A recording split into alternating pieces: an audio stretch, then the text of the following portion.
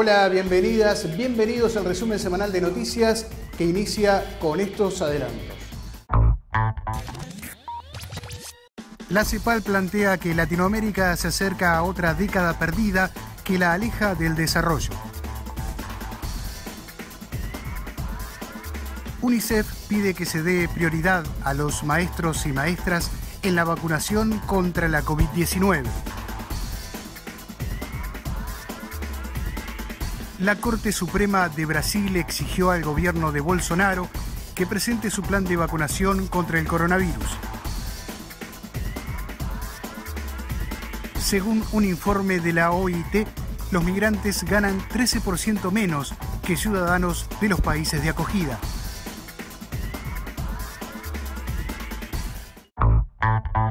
Como siempre, en este resumen noticioso abrimos nuestra columna editorial de la Confederación Sindical de las Américas. El 2020 ha sido um ano muito difícil e complexo para toda a população, em particular para toda a classe trabalhadora, que teve que continuar trabalhando pese à emergência sanitária. A pandemia pôs a manifesto problemas estruturais que já sofria a região da América Latina e Caribe e que simplesmente se agravaram com os enlaces das enfermidades. Os trabalhadores e trabalhadoras de las Américas han tenido que enfrentar nos últimos meses graves problemas socioeconômicos devido a las, crises estruturadas em cada ponto do continente e que se vinieron aún mais impactadas por políticas neoliberais pré-existentes, agudizadas por orientações conservadoras de vários governos que, em lugar de implementar medidas para paliar o déficit social, se dedicaram a estabelecer políticas de austeridade. Agora volvemos a observar o cenário internacional, a desigualdade da riqueza e o poder político entre nações. Em momento em que os países mais ricos mostram ao mundo início de seus programas de vacinação de suas respectivas populações, os países em desenvolvimento continuam dependendo dos vai-vienes das indústrias farmacêuticas e da vontade com a cooperação internacional para saber quando se é possível ter acesso às vacinas contra o SARS-CoV-2. As farmacêuticas aceleraram os processos de criação das vacinas em uma disputa que mira mais as ganâncias de seus sócios do que a saúde da população. Hoje, várias delas começaram a oferecer aos países.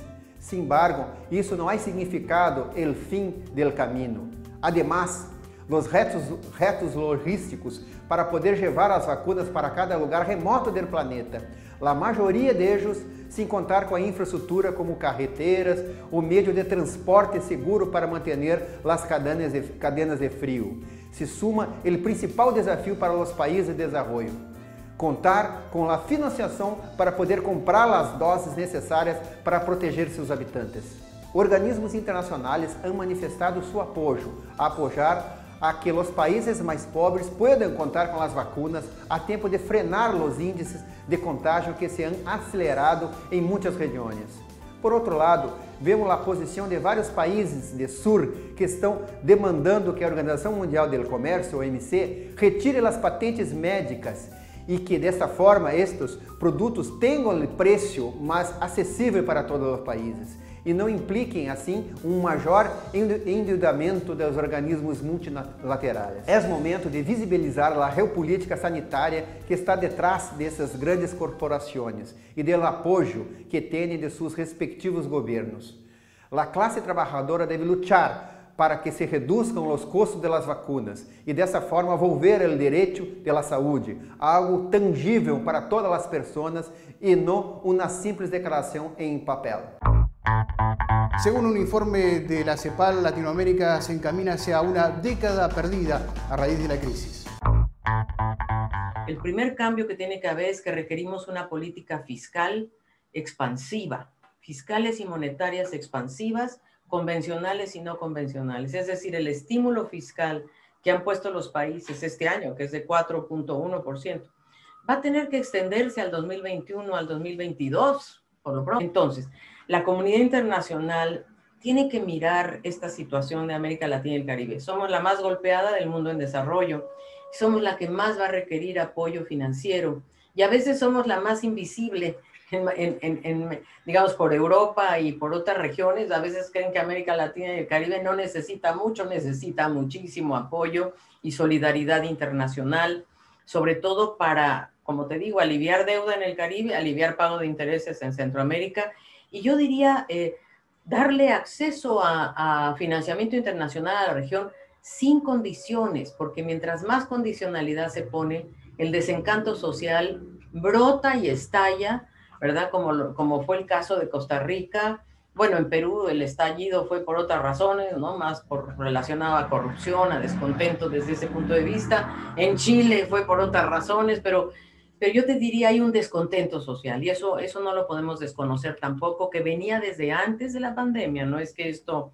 Entonces, cambio de paradigma, sí porque este enojo social o este descontento está asociado a un modelo de desarrollo de gran concentración de riqueza, de activos, de privilegios, de poder económico y político, de patriarcado, eh, de jerarquías sociales, entonces de mercantilización de los servicios de salud, de los servicios de los bienes públicos. Entonces, pues todo eso, y como te decía, acompañado de una gran informalidad, que es la gente que no está recibiendo nada, eh, o que no puede recibir, no está registrada, mucha de ella, ¿no?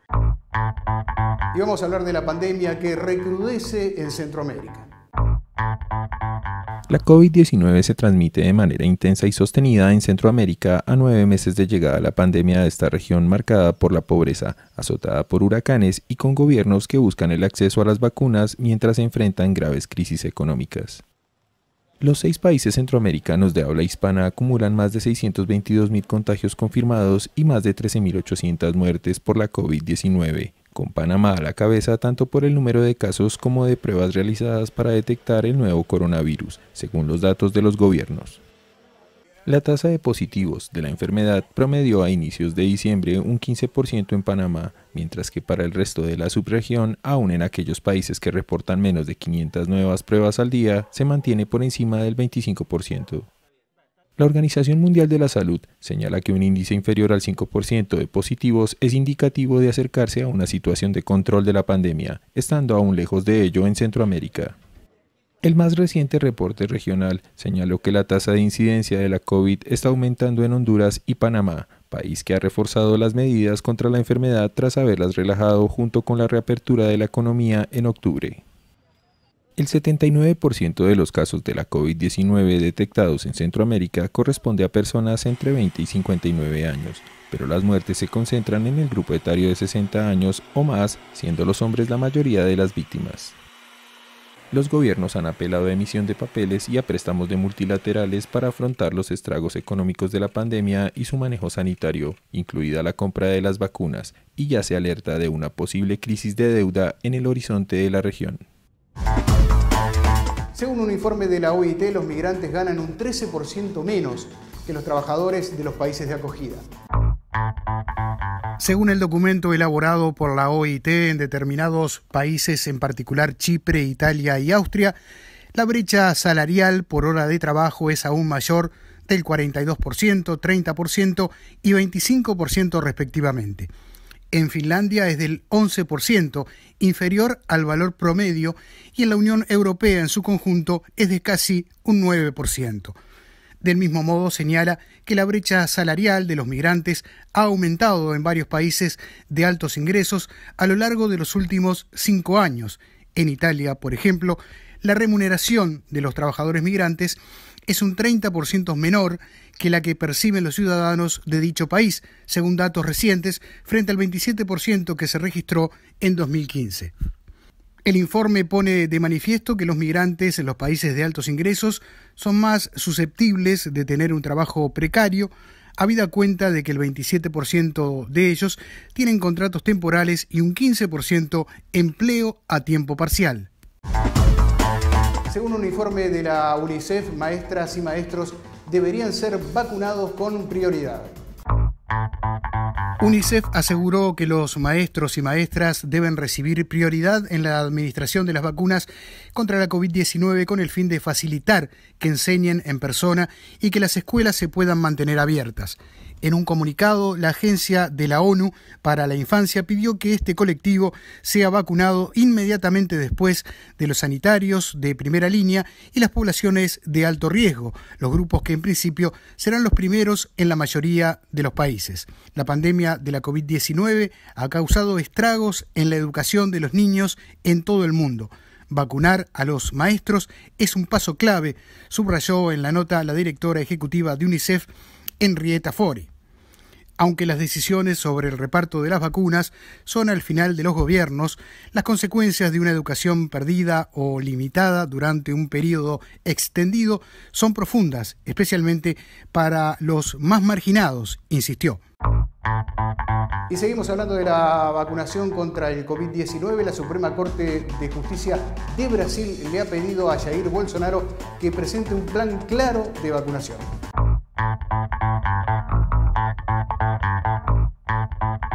El presidente de Brasil, Jair Bolsonaro, enfrenta críticas por el plan del gobierno o la falta de este, como denuncian sus oponentes para vacunar a la población contra el COVID-19. Brasil, el segundo país con más muertos por la pandemia, publicó el pasado sábado su plan de vacunación con algunas interrogantes como cuándo comenzará la vacunación y cómo van a llegar a su objetivo de inmunizar al 70% de la población. A esto le siguió una nueva ola de críticas hacia el presidente que ha rechazado constantemente las recomendaciones de los expertos para contener la pandemia y que recientemente dijo que no piensa vacunarse. Esta semana la Corte Suprema ha exigido al gobierno de Bolsonaro que presente su plan que prevé vacunar en su primera fase a cerca de 14 millones de personas de alto riesgo, incluido trabajadores de la salud, ancianos e indígenas. Latinoamérica se deteriora por la acción del hombre y también por el cambio climático. Lo vemos en el siguiente informe.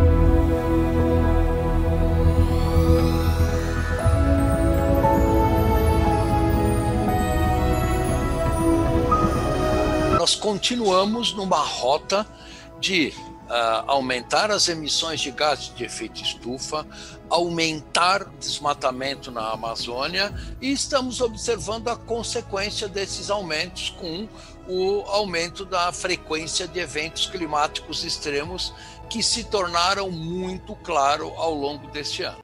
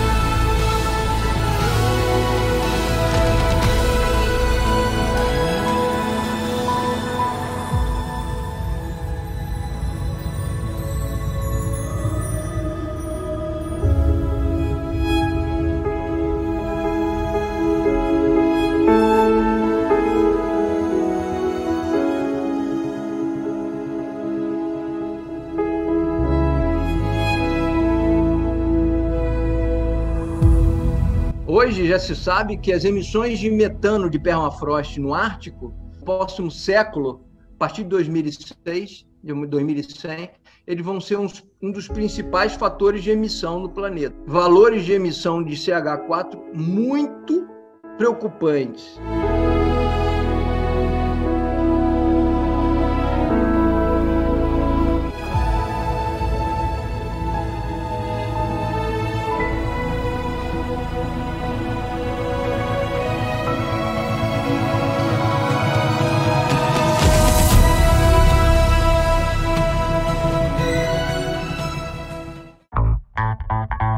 Situación de los derechos laborales en la región andina ha sido el tema principal del webinario realizado por la CSA.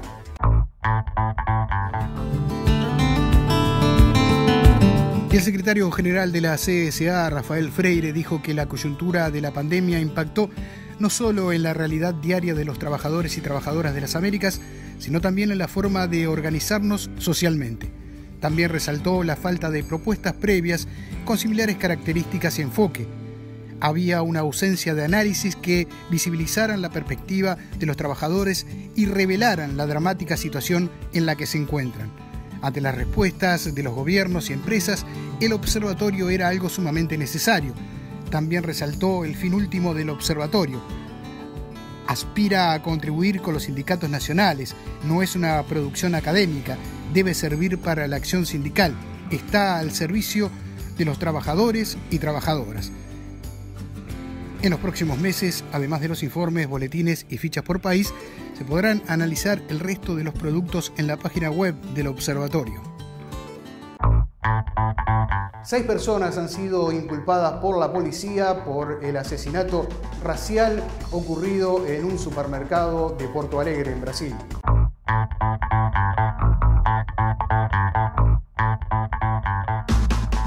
La Policía Civil a cargo de las investigaciones dijo disponer de pruebas suficientes para acusar formalmente a los dos guardias de seguridad, así como a cuatro personas que asistieron a la agresión sin intentar detenerla el pasado 19 de noviembre. Los testimonios denotan la indiferencia de los empleados vinculados a la empresa Carrefour y a la empresa de seguridad Vector respecto al tratamiento que le infringían a la víctima, señaló la Policía Civil en un comunicado en referencia a la muerte de Joao Batista Rodríguez Freitas, de 40 años.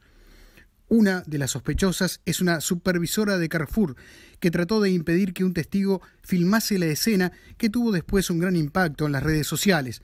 Ayúdenme, se escucha decir a Joao en el video mientras era reducido con la supervisora a pocos pasos. Me duele, me estoy muriendo, agregó. La mujer fue detenida el 24 de noviembre, cuatro días más tarde que los dos autores de la bárbara paliza. El video muestra como uno de los vigilantes golpea intensamente a Joao Freitas mientras el otro lo mantiene inmovilizado. El asesinato se produjo en la víspera del Día de la Conciencia Negra en Brasil y desató una ola de indignación en el país con protestas frente a supermercados Carrefour y fuertes reclamos de los sindicatos. Avanza la ley del aborto en Argentina que ya recibió media sesión de la Cámara de Diputados y ahora deberá ser aprobada por el Senado a fin de año. Esta y otras noticias en el siguiente compacto informativo.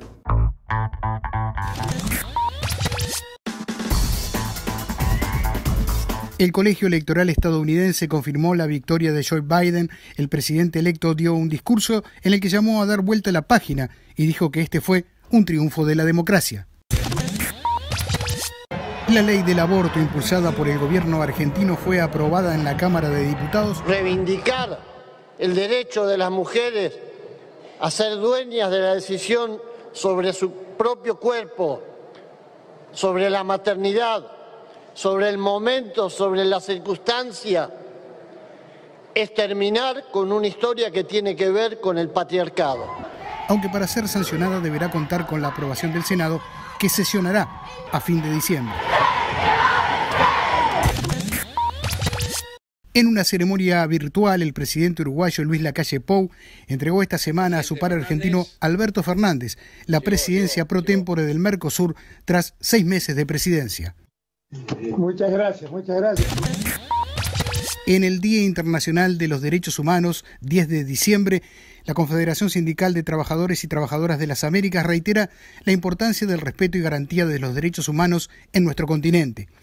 Este día recuerda la proclamación por la Organización de Naciones Unidas de la Declaración Universal de Derechos Humanos, una conquista civilizatoria en términos de reconocimiento de la dignidad, igualdad y libertad de todas las personas, luego de la Segunda Guerra Mundial en 1948.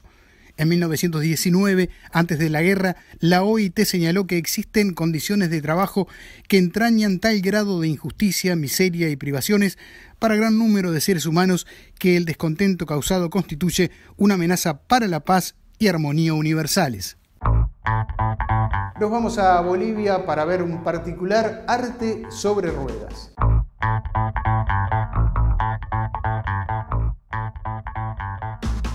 La vendedora de mercado, el albañil, el escolar o el oficinista que viajan a diario en micros, los populares autobuses de transporte público en Bolivia, pueden disfrutar ahora de exposiciones fotográficas en la primera galería móvil instalada en uno de estos vehículos para acercar el arte a las personas. La microgalería es una iniciativa del colectivo Fotoespacio Bolivia y del dueño del vehículo, el boliviano Luis Aguilar, un joven chofer de 27 años afiliado al Sindicato de Transportes San Cristóbal, que cubre diversas rutas en barrios populosos de las ciudades vecinas de La Paz y El Alto. La premisa del proyecto es que el arte tiene que llegar a las personas más allá de las cuatro paredes de una galería, explicó Mauricio Aguilar, director de Fotoespacio Bolivia. Pensamos que el arte tiene que llegar a, las personas, ¿no? más allá de, las cuatro paredes de una galería. Creemos que el arte puede estar en circulación y llegar a las personas que tal vez en su vida ni conocen una galería, ¿no? con, con la idea de que el arte es para todos y que pueda llegar a la mayor cantidad de gente posible. El elegido para esta cruzada artística fue el Supermenecito, un micro Dodge de 1978 que lleva 42 años circulando en La Paz, los ocho últimos años bajo la conducción de Luis Aguilar. La idea surgió hace un año cuando el colectivo de fotógrafos contrató los servicios de transporte de Luis para un recorrido por los miradores paseños. Entonces se les ocurrió exponer en el micro las mejores imágenes hechas en aquel recorrido, pegándolas a un costado del vehículo, lo que agradó a los fotógrafos. A raíz de aquello, Mauricio y Luis empezaron a desarrollar la idea de montar la galería en el Supermenecito, algo que tomó sacrificio, tiempo y dinero. El espacio está abierto a todos los fotógrafos emergentes que quieran mostrar su obra y las exposiciones se cambian cada mes, explicó por su parte Mauricio. La tercera exposición inaugurada hace unos días está dedicada a la fauna boliviana con imágenes de la bióloga y fotógrafa Gabriela Villanueva. Luis transporta a diario entre 150 a 200 personas, por lo que los gestores de la iniciativa calculan que la microgalería tiene más llegada al público que una convencional. Xiwu, una ciudad china, tiene el 60% de la producción de elementos navideños en todo el mundo.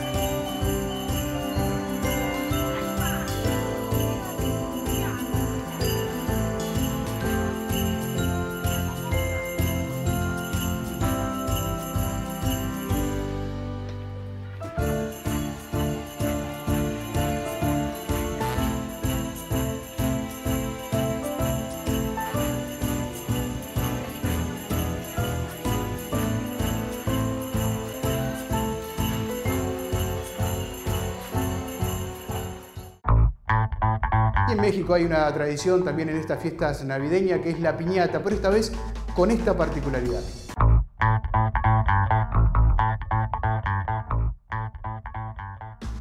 La pandemia no ha mermado las tradiciones mexicanas. Muchas personas se resisten a dejar que esta crisis que invadió el 2020 se lleve a aquello que los mantiene como una esencia cultural. Así sean unos pequeños elementos y detalles propios de las festividades que llegan en diciembre. Dentro de estos se encuentran las piñatas, estas figuras que destruyen los niños con palos para permitir que su relleno se riegue sobre ellos y así brindarles los dotes de dulces y confites. Las piñatas, un arte desde la concepción de la figura, se han visto afectadas por la pandemia y por esto tomaron la forma del gran mal del 2020. El coronavirus tiene cara y ahora los niños podrán golpearla, como lo señaló Martín García, un vendedor de estos elementos. Sí, pues más que nada que pues vienen a pues la piden para romperla, ¿no? Para desquitarse ahora sí con lo del COVID. Y es que en medio de las festividades es común ver la alegría de los adultos al comprar las piñatas para que jueguen los más jóvenes, una tradición que buscan mantener aún con las medidas de bioseguridad. Las más pequeñas cuestan alrededor de unos 5 dólares, mientras que las gigantes pueden estar reforzadas para que cueste más romperlas y rondan los 35 dólares un esfuerzo en la economía de las festividades para brindar la alegría de moler a palos las frustraciones que acumuló este 2020. Llegamos al final, nuestro deseo de una feliz fiesta navideña para todas y para todos, de parte de quienes hacemos CSA TV. Ese es nuestro deseo. Soy José Sena, desde la sede continental de la CSA en Montevideo, Uruguay. Gracias por acompañarnos.